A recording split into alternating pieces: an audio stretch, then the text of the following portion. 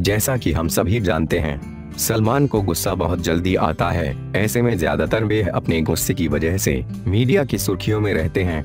उनका गुस्सा किसी से छुपा नहीं है। बता दें, रक्षाबंधन के पावन पर्व पर सलमान ने अपनी दोनों बहनों को मुंबई स्थित ओशिवारा के पौष इलाके में शानदार फ्लैट उपहार के रूप में भेंट किया है। जी हाँ उन्होंने अपनी दोनों बहनों को एक एक फ्लैट गिफ्ट किया है। उनके इस शानदार गिफ्ट से दोनों बहनें बहुत खुश हैं और जो कोई भी इस बारे में सुन रहा है, वह सलमान की तारीफ़ किए बिना रह नहीं पा रहा।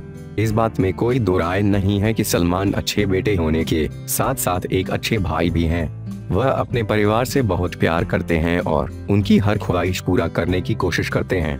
भगवान ऐसा बेटा और भाई सबको नसीब करें।